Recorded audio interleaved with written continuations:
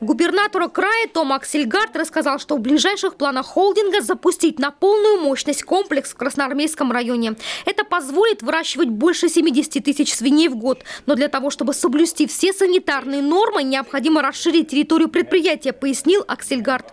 Со своей стороны Кондратьев пообещал, что краевые власти готовы поддержать добросовестных инвесторов.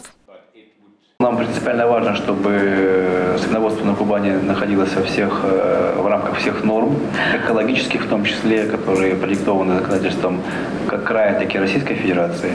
Когда инвестор выполняет на самом деле свои обязательства и обещания реально, то, безусловно, отдача со стороны нашего населения тоже максимальная стороны власти. Мы максимально поддерживаем того инвестора, у которого слова не расходятся с делом.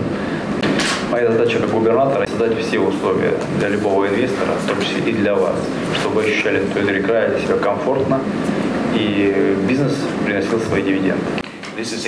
У нас в здании мало места и много свиней. Именно этот факт заставил нас придумать, как работать. Мы понимаем, что нужно работать качественно и по нормам защиты окружающей среды. И тогда мы будем востребованы. И я могу обещать вам, что здесь мы тоже будем работать по этому принципу.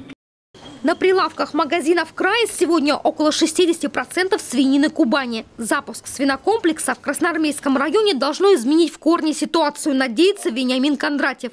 И край в этом будет всячески помогать иностранному инвестору, заверил губернатор региона. И напоследок разрядил атмосферу шуткой. В России есть понятие э, свиньи, а еще понятие свинства.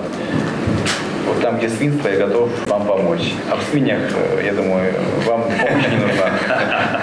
Добавлю, что датская компания производит свиней не только у себя на родине, но также в Польше, Украине и России.